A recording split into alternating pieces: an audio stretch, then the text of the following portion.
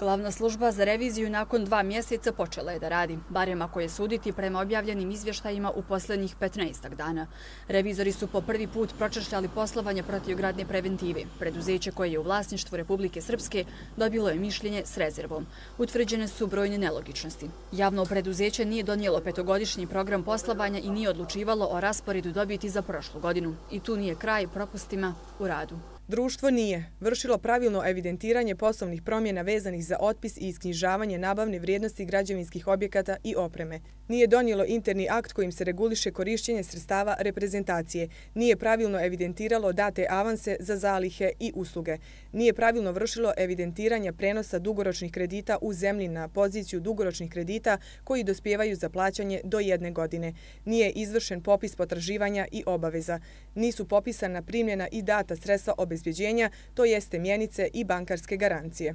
Protiv građana preventiva častila je radnike mimo zakona. Članovima nadzornog odbora isplaćivane su naknade troškova za korišćenje sobstvenog automobila. To nije predviđeno zaključkom vlade i uredbom o naknadama za službena putovanja u zemlji i inostranstvu za zaposlene u javnom sektoru Republike Srpske. Tako je planom javnih nabavki za gorivo potrošeno 17.500 maraka, a za nabavku protiv građanih raketa 518.000. Iz protiv građane poručuju da su izvještaje pročitali i da će sve riješiti riješiti. To je prva revizija u postajanju dugogodišnjem preduzeća. Mi se zahvaljujemo na preporukama i u narodnom periodu ćemo učiniti sve i naravno ispoštovati sve preporuke i nemamo šta drugo da dodamo.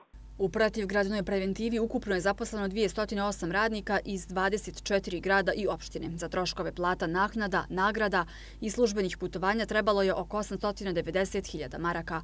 Preduzeće imaju četiri kredita od 25 miliona maraka za projekat uspostavljanja tehničko-meteorološkog servisa i modernizacije sistema protivgradne zaštite. Polovinom jula PDP je podnio krivičnu prijavu protiv odgovornih u javnom preduzeću zbog sumnje da su sredstva zloupotrebljena i da su završila u privatnim džepovima.